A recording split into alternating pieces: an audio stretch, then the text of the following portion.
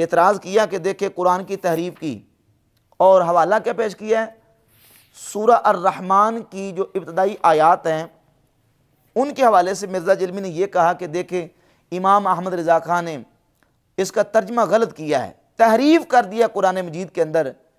الرحمن علم القرآن، خلق الانسان، علمہ البیان۔ اعلیٰ امام علیہ سنت رحمۃ اللہ علیہ نے ترجمہ کیا ہے کہ رحمان خلق الانسان، انسانیت کی جان محمد صلی اللہ علیہ وآلہ وسلم کو اس نے پیدا کیا۔ علمہ البیان، اور ان کو ما کانا و ما یکون کا علم سکھایا۔ اب یہ کہتا ہے یہ تو تحریف ہے مانوی۔ یہ کہاں ہے ما کانا و ما یکون کا علم جو سکھایا ہے؟ یہ یہ کون سا ترجمہ ہے؟ یہ میرے پاس موجود ہے تفسیر الخازن۔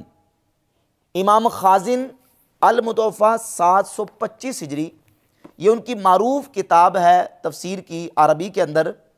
اس آیت کی تفسیر کے اندر امام خازن علیہ رحمہ وہی تفسیر اور ترجمہ بیان کر رہے ہیں جو اعلیٰ امام علیہ سنت رحمۃ اللہ علیہ نے بیان کیا ہے۔ چونکہ کنز الایمان شریف ترجمہ، وہ قرآن مجید کا تفسیری ترجمہ ہے۔ امام علیہ سنت رحمۃ اللہ جب ترجمہ کرتے ہیں تو تفسیری ترجمہ اور مرادی ترجمہ کرتے ہیں۔ اور قرآن مجید کے کلمات سے جو تفسیر اس کی ہوتی ہے، اس طریقے سے اس کا ترجمہ بیان فرماتے ہیں۔ امام خازن اسی آیت کی تفسیر میں لکھتے ہیں، علمہ البیان۔ اس سے مراد کیا ہے؟ کہتے ہیں قیلہ ارادہ بالانسان محمدن صلی اللہ علیہ وآلہ وسلم۔ انسان کو پیدا کیا، مراد یہ کہ اللہ تعالیٰ نے محمد صلی اللہ علیہ وآلہ وسلم کو پیدا کیا۔ علمہ البیان۔ یعنی بیان ما یکون و ما کانا۔ اللہ نے نبی علیہ السلام کو بیان سکھایا۔ معنی یہ ہے کہ اللہ رب العزت نے جو ہوگا اور جو ہو چکا نبی پاک علیہ السلام کو سکھا دیا۔ لِأَنَّهُ صلی اللہ علیہ وآلہ وسلم يُنبِعُ عن خبر الاولین والآخرین کیونکہ نبی پاک صلی اللہ علیہ وآلہ وسلم اولین و آخرین کی خبریں دیتے ہیں۔ وعن یوم الدین اور قیامت تک جو کچھ ہونا ہے، اس کی رسول اللہ صلی اللہ علیہ وآلہ وسلم خبریں عطا فرماتے ہیں۔